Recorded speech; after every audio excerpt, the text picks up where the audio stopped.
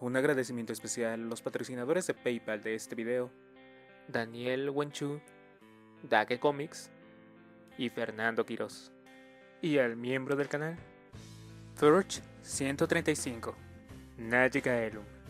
Ya que regresó a la monetización, recuerda que ahora también puedes apoyar el canal no solamente por PayPal, sino también haciéndote miembro de la comunidad. No olvides revisar los beneficios dependiendo del nivel del que elijas. Los precios van desde 20 pesitos. Y si no, por favor, te pido que, además de tu comentario y tu like, puedas ver uno o dos comerciales. O también, puedas dar clic a la publicidad que aparece por debajo de los videos. Eso me ayudaría muchísimo. Espero que disfrutes la siguiente narración.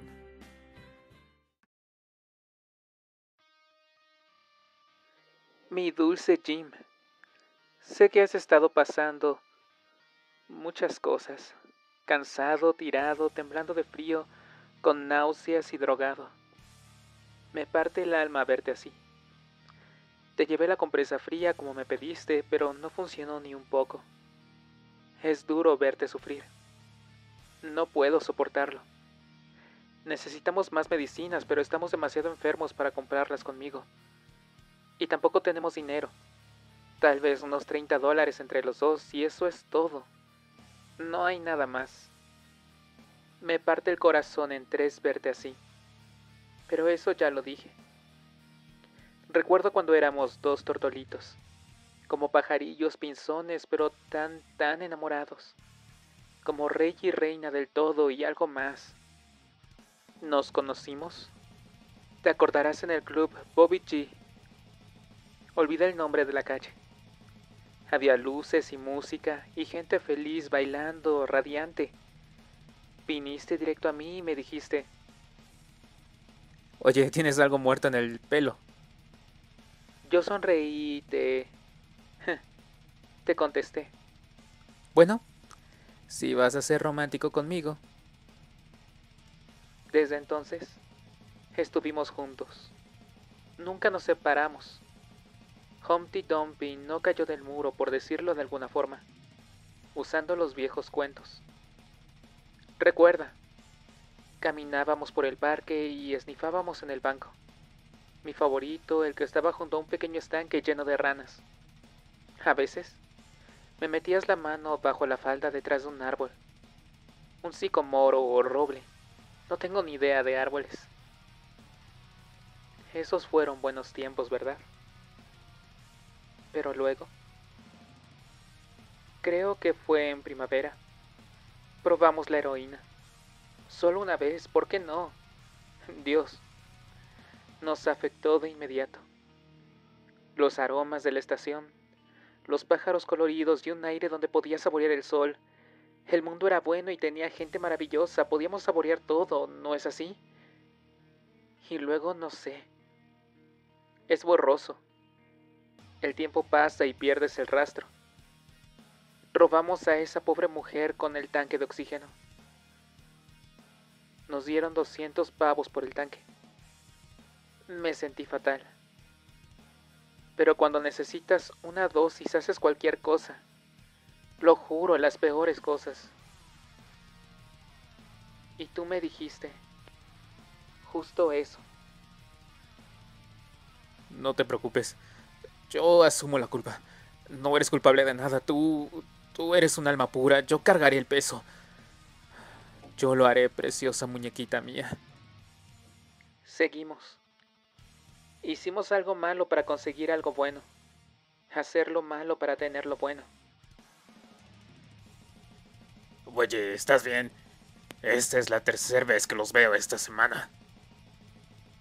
Hasta que todo se tornó nublado. Todo era lo mismo, sin diferencias entre lo bueno y lo malo. Ya nada nos importaba. La semana pasada caíste enfermo y ahora estoy aquí.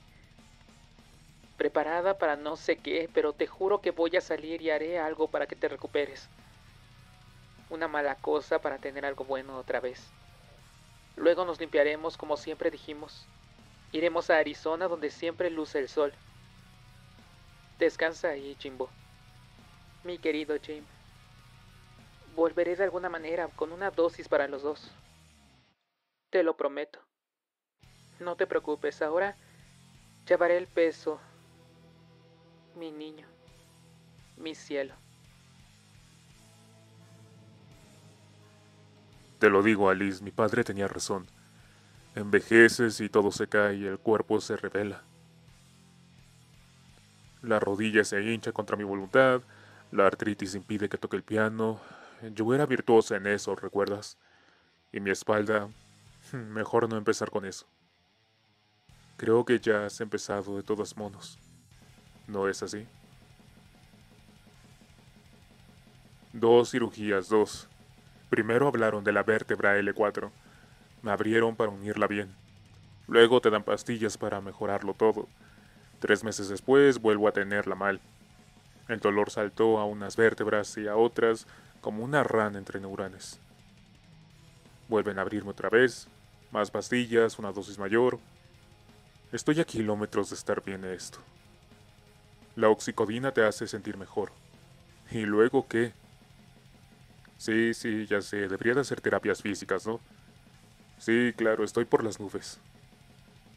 Escucha, si voy a hacer un paseo para que mejore todo, entonces nunca voy a volver.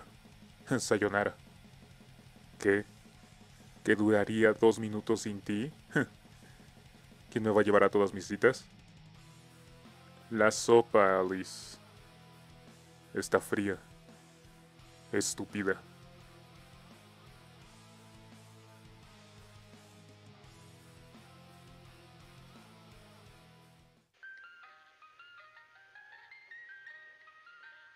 Mi querido Jimbo, mi enfermo Jim, encontré un camión colorido. Dentro huele a verano y se conduce muy muy bien. No hay nadie en la calle, ni un alma, ni una persona. Voy camino a Dios sabe dónde. Tal vez a un banco, pero nunca robé algo tan grande antes. Creo que un cajero es mejor. O alguien que tal vez posea una billetera muy grande suficiente para una última dosis y luego prometo que juro que nos desintoxicaremos. Iremos al desierto donde hace calor y tienen lagartos como perros. Arizona. Lo vimos en los folletos y en las películas de nuestros sueños. Allá voy. Allá voy por ambos. Alice, ya cálmate, lo siento. Me pongo histérico. Dije que... Dije que lo sentía, ¿de acuerdo? Alice, tranquila, no farfulles así. No eres día tras día una maldita esclava. Sí, me cocinas, me llevas al médico, me limpias el trasero porque mis caderas me lo impiden y... ¿Qué obtienes? ¿La sopa está fría? Apesta. Y no lo soporta. Alice, yo... Solamente me dice que entre y... Ponga mi negro trasero en el asiento que llegaremos tarde con el ortopedia. Alice, te quiero, soy un idiota. Es el dolor, las pastillas. Son una trampa. Te hacen sentir mejor, pero luego cambia.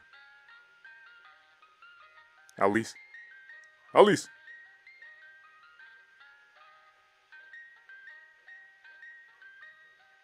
Solo le escucho gritar. Dice Phil. Que llame una ambulancia. Dame todo el maldito dinero. Dice que soy uno de esos junkies. Bueno, eso ahora no cambiará nada. Dame el maldito dinero ahora mismo. Dice que si no oigo las sirenas, que ya viene la policía y que van a encerrar mi culo drogado por asesina. Solamente quería que se callara, pero seguía hablando diciéndome sobrenombres que venían por mí. Y solo quería que se callara de una maldita vez. No quería hacerlo, en verdad que no. Jimmy, levántate. La policía. Hola, Karen. Jim no tiene tan buen aspecto, creo. ¿Quién? ¿Qué haces aquí? después te llevaste mi camión. ¿Tu camión? No te preocupes, tengo muchos. Te preguntarás qué hago aquí, cómo entré y esas cosas, ¿no? Nunca entendí su atractivo. Eso si esta basura no te borró la capacidad de pensar con criterio. Vine aquí a ofrecerte un regalo. Algo para tu gusto por los dulces. Lo mejor que has probado.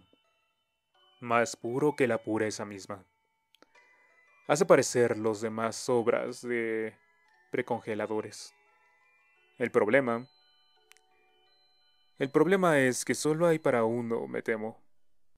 Tú la reciente y agobiada fugitiva, o el pobre Jimbo sufriendo la abstinencia en el sofá. Es una dura decisión, ¿no es así? Pero elige rápido. Las sirenas ya están sonando muy fuerte.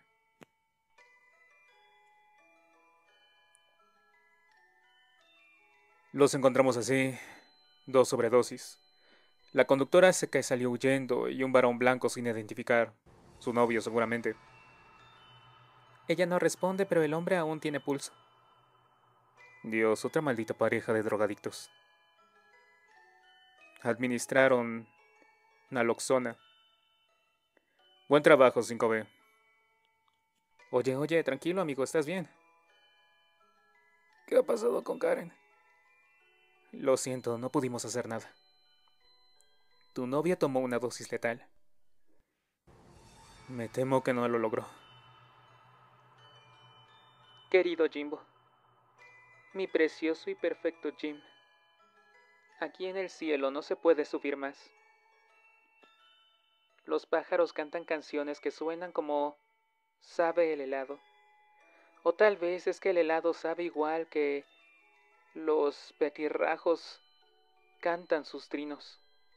No soy buena con las palabras, como ya lo sabes. Jimbo, hicimos mal en la vida, pero sé un secreto. ¿Quieres oírlo? Aquí arriba todo es perdonado, aunque hayas hecho una mala acción tras otra. Todo acaba bien. Todos pueden ir a Arizona donde los cactus son verdes y espinosos. Tienen bichos por encima, pero los bichos solo son pequeños angelitos sonrientes. Espero que estés mejor y venzas al hambre.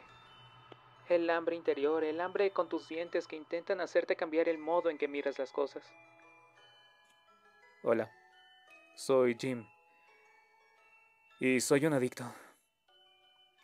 Sé que es muy duro, pero la dificultad es importante y eso te hace ser agradecido por las cosas buenas, como el amor que compartimos un tiempo, o el sol de un día cálido o la brisa cuando el sol golpea demasiado.